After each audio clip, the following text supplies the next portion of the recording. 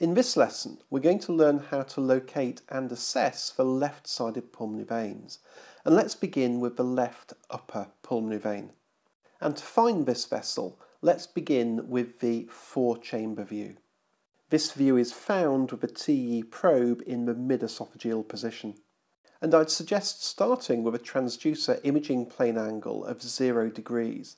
Now this may require some optimization to avoid any foreshortening, but the optimal four-chamber view is normally found somewhere between 0 and 20 degrees.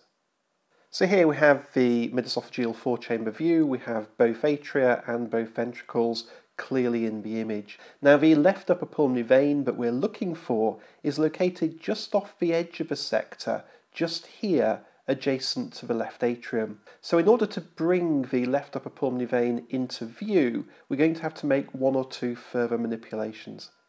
And the manipulations that we're going to make are to turn the TEE probe towards the patient's left and also to withdraw the probe very slightly. And this should start to bring the left upper pulmonary vein into view. And so here we've made those probe manipulations, and you'll notice that we've also increased the transducer imaging plane angle to around 30 degrees. And making all those changes has now brought the left upper pulmonary vein into view. And you'll notice that the left upper pulmonary vein inserts into the left atrium in a relatively vertical orientation. This is in contrast to a left lower pulmonary vein, which we'll see shortly inserts in a more horizontal orientation. Here we have a different patient, and this serves to illustrate that sometimes we need very different imaging plane angles, here 75 degrees, to obtain views of the left upper pulmonary vein. The vein is located here, and just adjacent to it is the left atrial appendage, and in between the two is the posterolateral ridge also known as the ligament or fold of Marshall. The pulmonary veins are often easier to see when we switch on colour Doppler. We can see then the flow in the pulmonary vein which is entering the left atrium. In fact, I'd suggest that you switch on colour Doppler from the outset when you're hunting for each of the four pulmonary veins because it does make it somewhat easier to locate them. As well as colour Doppler, we should also perform pulsed wave Doppler, and we do this by placing the sample volume approximately one centimetre into the mouth of the pulmonary vein. Current guidelines recommend that we should do this in any two of the four pulmonary veins in order to thoroughly assess flow patterns. And here's the characteristic appearance of pulsed wave Doppler in the left upper pulmonary vein. And the flow pattern has three distinct components.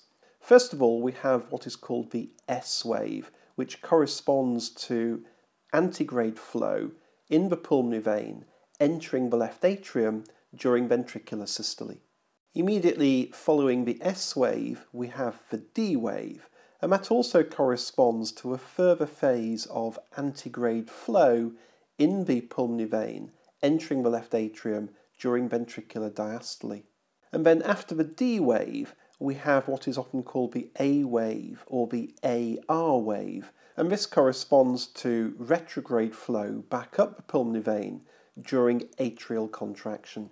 And we can time each of these waves using the ECG trace on the screen. So the ventricular systole or S wave occurs just after the QRS complex, the ventricular diastole or D wave occurs during diastole, and the A wave, which corresponds to atrial contraction, occurs as you would expect just after a P wave. If a patient's in atrial fibrillation, then they will not have an A wave. Flow patterns in the pulmonary veins can of course tell us a great deal about cardiovascular hemodynamics. This patient has left ventricular diastolic dysfunction, and we're seeing a pseudo-normal restrictive filling pattern in their left upper pulmonary vein flow. In other words, we have equalization in the size of the S and D waves. Normally the S wave is taller than the D wave.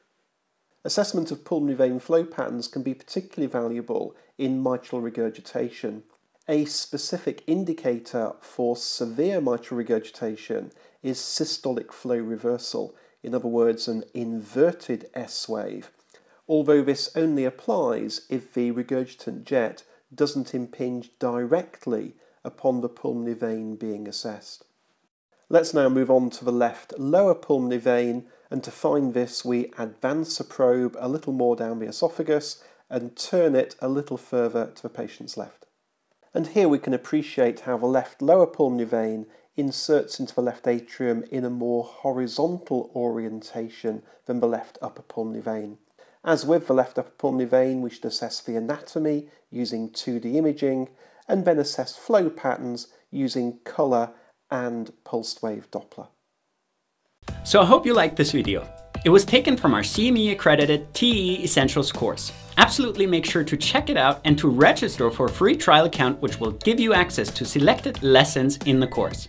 If you want to learn how MedMastery can help you become a great clinician, make sure to watch the About MedMastery video. So take care and I talk to you soon.